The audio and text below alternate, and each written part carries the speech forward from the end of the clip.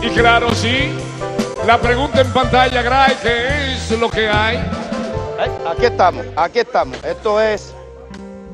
Bueno, mira, hay, hay muchas informaciones, pero hoy es viernes, hoy es viernes, hoy es viernes. Eh, solo decir. Wow, pero esto está encendido aquí. Solo decir que se conocieron, se le dictaron un año de prisión eh, preventiva a los implicados en el caso de Junior Ramírez. Un año de prisión preventiva. eh, declaración, creo que creo que si no lo han hecho lo van a declarar un caso complejo para poder dar más amplitud a la Sí, ya lo investigación. Así es que este es un caso realmente que hay que darle mucho seguimiento.